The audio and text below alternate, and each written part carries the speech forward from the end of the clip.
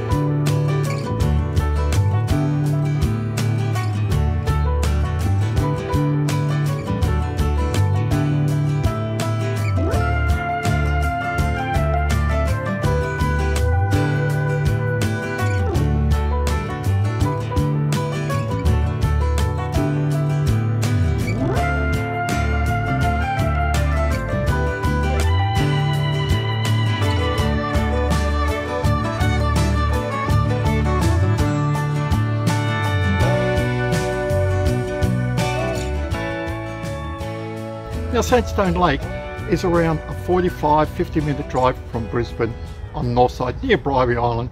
It's an artificial lake. I've photographed quite a lot of bird life before here. You never know with wildlife. You never know what you can find here. But I know that there are variegated fairy wrens, redback fairy wrens, wattle birds, all types of water birds here. If you want all my camera settings, I've done a video on it and I'll put it up here now. It talks all about how I've set up my Nikon D500 and using the 200 to 500 mm lens. The thing that I like about this monopod setup is that I can go from landscape to portrait so easy. And if you look like this here, you know, like I'm bending down, going up very easily. It is just such a breeze and I'm not putting weight on my shoulders. Now let's take a walk.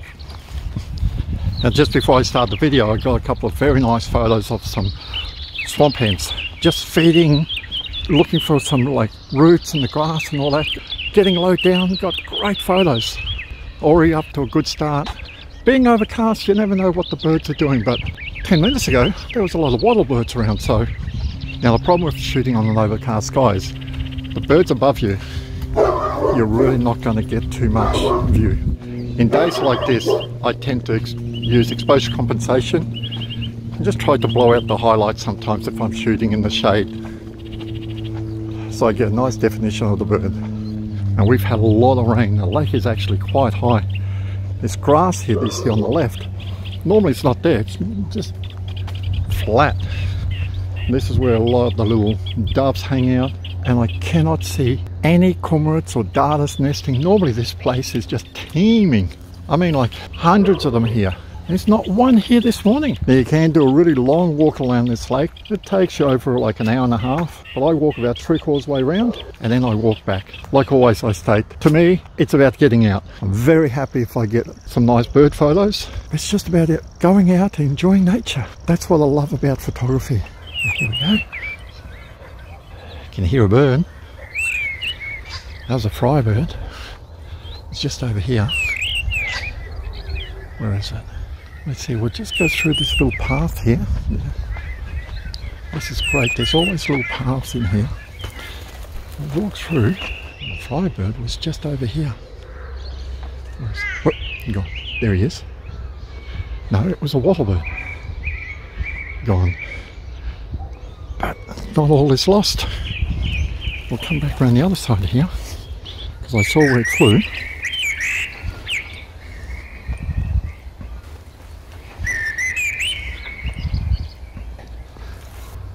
There are still a couple of darters around. I got a couple of really nice photos of just a swamp hen here. Take a look at the size of their feet on swamp hens. Look at them, how big they are. I'll take a photo. These are just empty nests. I'll show you like this is the, the size of the nest these birds build, these darters build. Over here, rainbow lorikeets in the trees. We've got ibises in the back here, but they're behind the brush. That little point there in that little island is normally teeming with birds. You, Look. Oh, do you see that? You can just see it. There.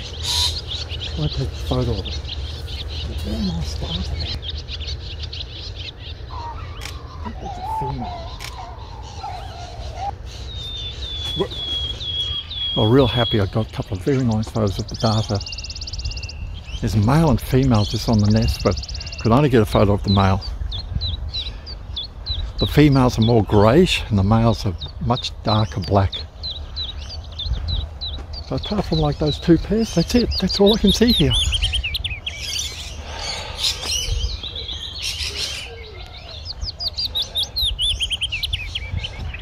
I think it's just the wrong season for the wrens because normally here, like the wrens they just, they go ballistic here.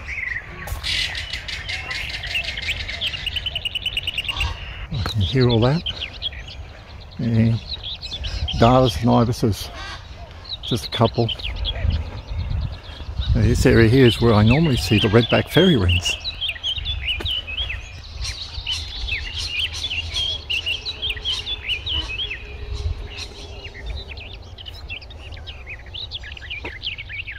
Let's take a photo of just an ibis here.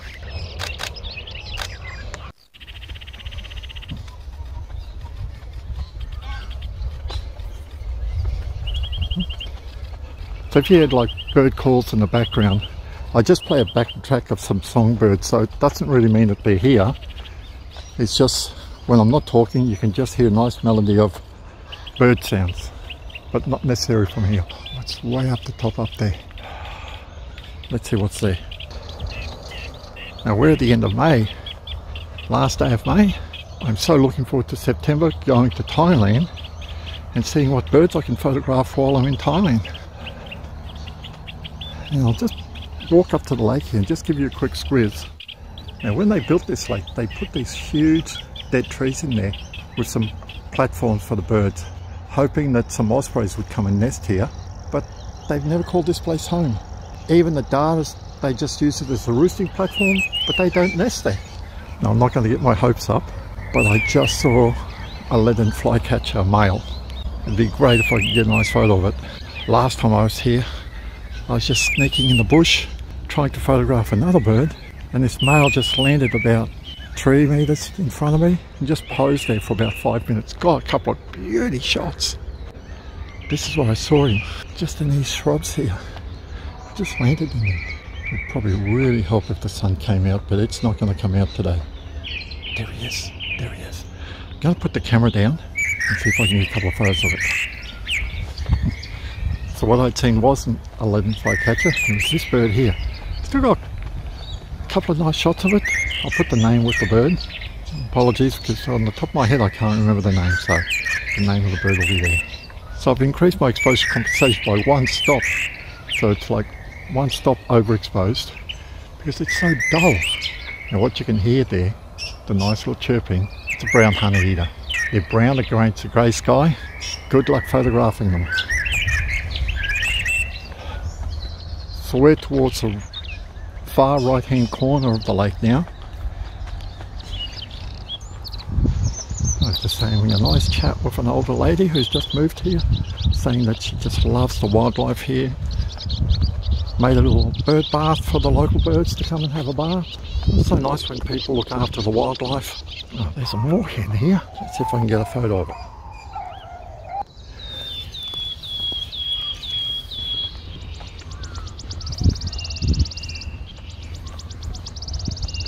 Show you a view of the lake from this corner here. You can see right in the centre there, those dead trees are There's willy wagtails everywhere. But you think I can get a photo of a willy wagtail? It's so hard.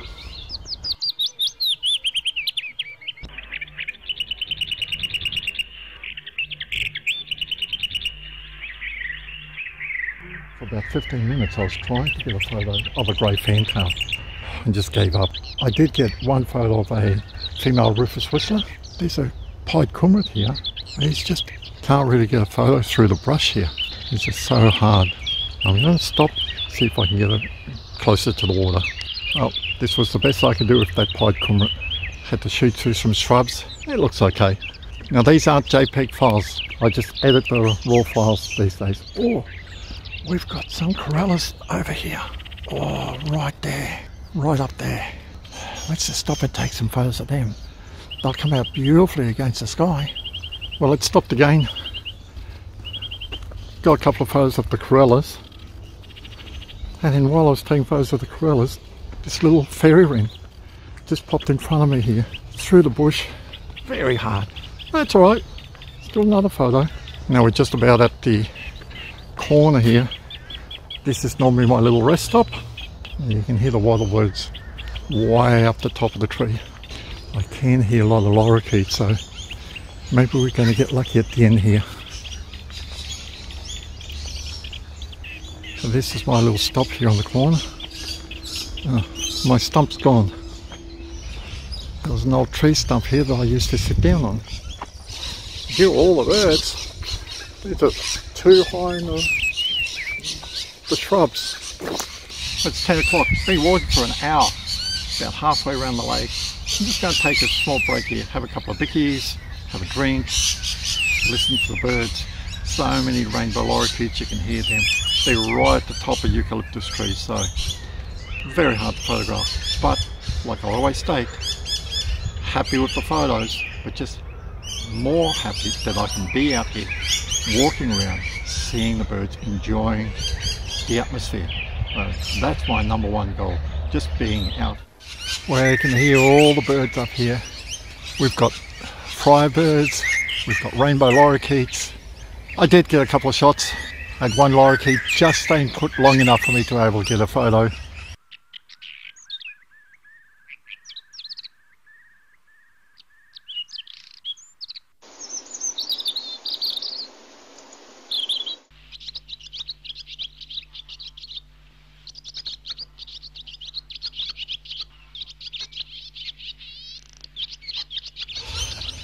The sun's trying to come out.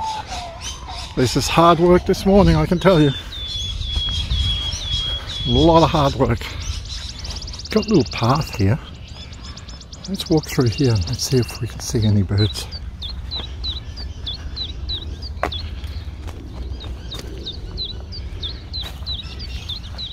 I'm going to have to walk back out of here. I thought I could keep walking, but it's all flooded in, so I've got to walk back out this way.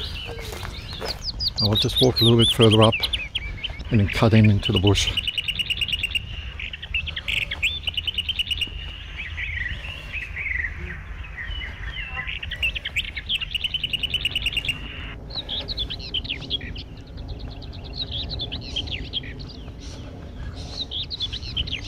Well, I'm not going to walk any further in here. I don't like to give up, but I really think that I'm wasting my time going any further today. I'm just going to walk back now. Well, it's midday. That's it for me.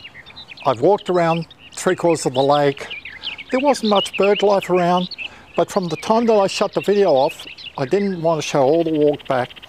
I stopped at a couple of spots, got a couple of photos of a beautiful fairy wren. I also had the pleasure of meeting Karen and Cherie, who follow me on YouTube. So nice to meet you. Thanks for following me. So here are the photos of the birds that I took from the time that I shut the video off to now.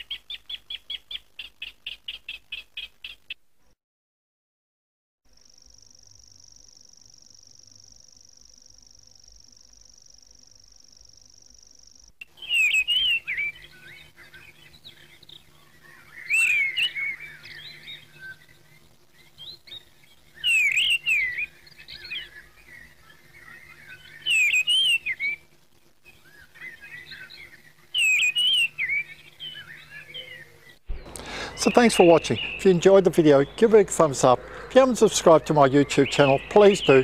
Really helps me out. Stay safe, enjoy bird photography, and I'll see you next time.